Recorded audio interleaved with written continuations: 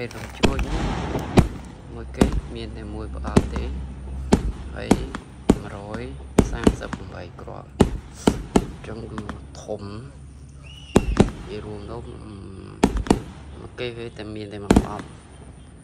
យ៉ាងធំតែម្ដងចឹងបាញ់បាន138 138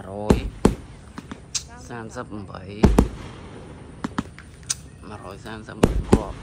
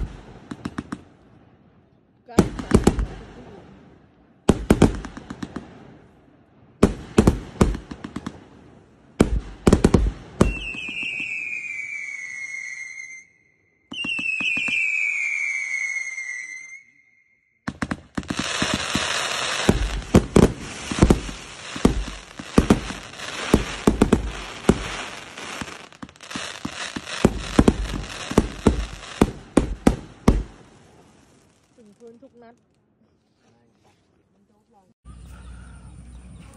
ប្រភេទរបស់ជ្រួចនេះមួយគេមានតែមួយប្រអប់ទេហើយ138គ្រាប់អញ្ចឹងគឺធំនិយាយរួមទៅមួយគេវាតែមានតែមួយប្រអប់យ៉ាងធំតែម្ដង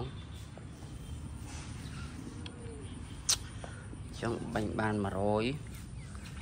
38 138គ្រាប់